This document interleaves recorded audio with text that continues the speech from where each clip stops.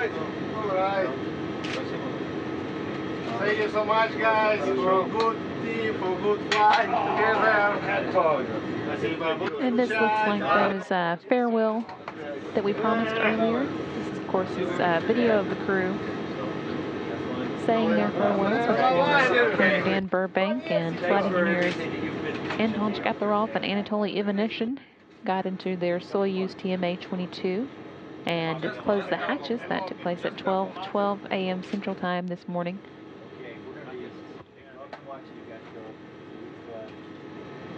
In the foreground of this view, you can see on uh, the left-hand side Anatoly Ivanishin, and on the right, uh, André Kuipers, one of the three crew members staying behind.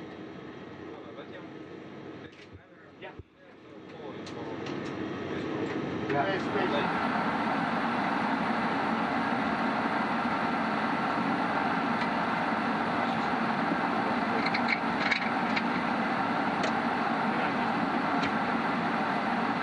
что, прикрываем. Да. So, should we close it? Пока. Bye. До свидания. Пока. See you. Ну давай. Bye. Постараемся. Take care. We'll do our best.